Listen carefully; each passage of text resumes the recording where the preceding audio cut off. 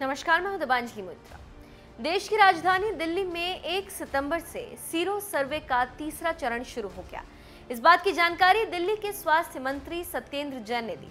इस बार का sero survey पिछले दो सीरो सर्वे से अलग होगा। इस बार वाले सीरो सर्वे में दिल्ली के सभी वार्डो से सैंपल लिया जाएगा। सीरो सर्वे का तीसरा चरण शुरू हो रहा है।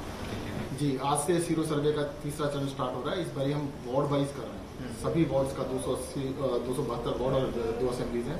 उसको लगभग दो सौ अस्सी हिस्सों में बांट के किया जा रहा है। कितना सैंपल साइज़ है कब तक ही कंप्लीट हो जाएगा? सत्रह हज़ार सत्रह हज़ार का सैंपल साइज़ है। लगभग एक हफ़्ते में सैंपलिंग कंप्लीट हो जाएगी और उसके बाद हफ़्ता दस दिन लगेगा उसको प्रोसेस। वार्ड जो आप बता रहे हैं तो क्या पहले सभी वार्ड में नहीं हो रहे थे? पिछली बार ये डिस्ट्रिक्ट वाइज किया गया था।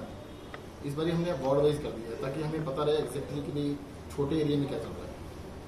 क्या उम्मीद है रिपोर्ट की? रिपोर्ट सात दिन लगभग सैंपल लेने में लगेंगे उसके बाद सात से दस दिन रिपोर्ट आने में लगेगी। सर पूर्व राष्ट्रपति प्रणब मुखर्जी पूर्व राष्ट्रपति जी को मेरी ओर से और हमारी पार्टी की ओर सबकी ओर से श्रद्धांजलि अर्पित करते हैं। भगवान मतलब उन्होंने बहुत ही अच्छा एज ए राष्ट्रपति रहते हुए काम किया। वो तो इतने सालों से राजनीति में थे। सब देश के बड़े बड़े उच्च पदों पर रहे, उनकी कमी हमेशा राजनीति में सीरोलॉजिकल टेस्ट भी सीरम टेस्ट की तरह ही होता है। इस टेस्ट से ये पता लगाया जाता है कि किसी व्यक्ति के शरीर में कोरोना वायरस से लड़ने के लिए एंटीबॉडीज विकसित हो चुकी हैं या नहीं। इससे पहले 27 जून से 10 जुलाई के बीच पहला सीरो सर्वे हुआ था।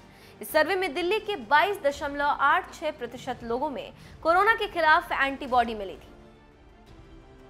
एक अगस्त से सात अगस्त के बीच दूसरा सीरो सर्वे किया गया था जिसमें उनतीस दशमलव एक फ़ीसदी लोगों में एंटीबॉडी मिली थी।